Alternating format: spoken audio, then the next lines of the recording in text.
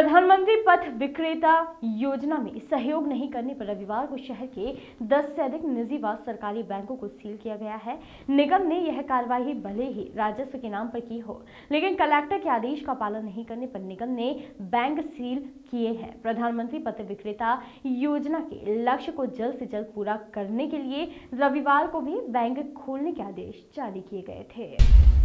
आत्मनिर्भर भारत बनाने की दिशा में प्रधानमंत्री नरेंद्र मोदी ने पथ विक्रेता योजना प्रारंभ की है। इस योजना के तहत छोटे कामकाज प्रारंभ करने के लिए दस हज़ार तक का लोन दिया जाता है। निजी और सरकारी दोनों बैंकों को इस योजना के तहत लोन देने हैं, लेकिन इंदौर शहर में इस योजना के तहत दिए गए लक्ष्य से काफ़ी पीछे है। लक्ष्य को जल्द से जल्द पूरा करने के लिए कलेक्टर मनीष सिंह ने रविवार को भी बैंक खोलने के आदेश जारी किए थे, ताकि पथ विक्रेताओं को लोन मुहैया कराया जा सके।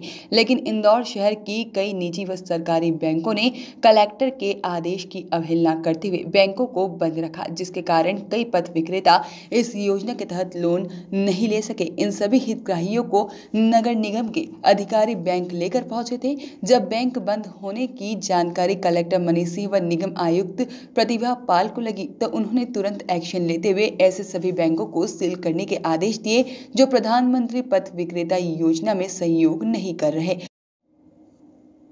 अपर आयुक्त श्रृंगार श्रीवास्तव ने एलडीएम के साथ शहर की सभी बैंकों का निरीक्षण किया और जो बैंक बंद मिले उन्हें सील करवाया गया। श्रृंगार श्रीवास्तव ने जानकारी देते हुए बताया कि निगम के अधिकारी जब प्रधानमंत्री पद विक्रेता के हितग्राहियों को बैंक लेकर पहुँचे तो बैंक बंद मिली। निगम सीधे बैंक सील कर नहीं कर सकता इसलिए राजस्व बगाया होने पर यह कार्रवाई की गई। ये क्या है ये तो एटीएम है। तो बंद नहीं करना चाहिए एटीएम नहीं करना ये करती लगाओ दो चार में हिसाब लगा लो इसका प्रॉफिट टेस्ट का और क्या। उधर उधर वो लग नहीं पा रहा था साले सील कर लो ना तो उसी का ऊपर हाँ, ताले हाँ सर हमारे ऑफ़िस में केस प्रोसेस हो रहे हैं पूरे। अरे कुछ नहीं केस अलग चीज़ है प्रॉपर्टी का काम अलग है। करने दो कोई दिक्कत नहीं। सर केस इसकी अरे भैया केस का कौन बात कर रहा है? मैंने आपसे बात की है आप आपका क्या नाम है? मेरी आपसे कोई बात हुई? सर अरे कोई बात हुई क्या हमारी? आपसे मैंने कोई फ़ोन किया था? मैंने आपको कोई फ़ोन किया था? यस और नो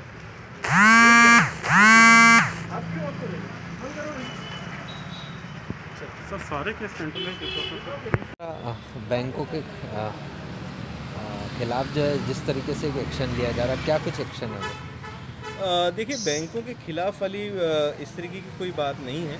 लेकिन हाँ विशेष चीज़ ये है कि माननीय प्रधानमंत्री जी की द्वारा जो योजना चलाई गई है, कोविड को देखते हुए पथ विक्रेताओं को आत्मनिर्भर बनाने के लिए जो पीएम स्वनिधि आत्मनिर्भर योजना है, उसमें हमारा काम बहुत तेज़ी से चल रहा है। नगर निगम का पूरा अमला इसमें जुटा हुआ है और हम लोग अधिकतर शहर के पथ विक्रेताओं को बैंकों में ले जा रहे हैं और इसी तारतम्य में कमिश्नर मैडम की तरफ़ से एक लेटर गया था, कलेक्टर साहब ने आज के लिए सभी बैंकों को एक आदेश के द्वारा एक आदेश निकाला है उन्होंने कि सभी बैंकों को आज संडे के दिन खुला रह के और खासकर पीएम स्वनिधि योजना के लक्ष्य की पूर्ति के लिए काम करना है। बहुत सारे बैंक ऐसे हैं जहाँ पे आम जनता जा रही है। नगर निगम का हमला भी पथ विक्रेताओं को अपनी गाड़ियों में बैठा के ले जा रहा है, लेकिन उसके बावजूद बैंकों को उतना सहयोग नहीं मिल रहा है। लोग शिकायतें कर रहे हैं, जनता की थोड़ी नाराज़गी भी है। तो उन, जहाँ जहाँ शिकायतें प्राप्त हो रही हैं तो फिर नगर निगम रेवेन्यू के बहुत सारी शिकायतें होती हैं, कहीं अन्य शिकायतें होती हैं, उस पर कार्रवाई कर रहा है और सील कर रहा है। कितने बैंक होंगे ऐसे जिनके खिलाफ आज हमने एक्शन लिया हो? जहाँ जहाँ असहयोग की स्थितियाँ हैं या जहाँ शिकायतें प्राप्त हो रही है वहाँ कर रहे हैं। मैं मुझे अभी बंधन बैंक की जानकारी मिली थी कि यहाँ पे कार्रवाई ए आर साहब के द्वारा की गई है। और भी शायद मालव परिसर में आईसीआईसीआई बैंक में कार्रवाई की गई है। कुछ एक्सिस बैंक की भी ब्रांचेज हैं। अन्नपूर्णा की ब्रांच है एक्सिस बैंक की वाई एन रोड की भी है। तो कार्रवाइयाँ चल रही हैं। अच्छा ये सिर्फ़ प्राइवेट बैंक की इसमें थोड़ी सी कोताही बरत रहे हैं या निश्चित रूप से State Bank of India Bank of India और जो अपने पब्लिक सेक्टर के बैंक से बहुत सारे तो लक्ष्य की प्राप्ति के लिए सहयोग कर रहे हैं, लेकिन ऐसा नहीं है। ये अच्छा काम करने वाले और बुरा काम करने वाले सभी जगह होते हैं। तो ऐसा कोई पब्लिक सेक्टर और प्राइवेट सेक्टर का नहीं है। क्या सेंट्रल बैंक के भी एक आध कुछ प्राइवेट बिल्डिंग जो है, वहाँ पे कार्रवाई हो रही है। जानकी नगर में भी सेंट्रल बैंक ऑफ़ इंडिया की भी एक शाखा है जहाँ की शिकायत प्राप्त हुई है तो वहाँ भी कार्रवाई आपका नाम और ब्यूरो रिपोर्ट वॉइस ऑफ़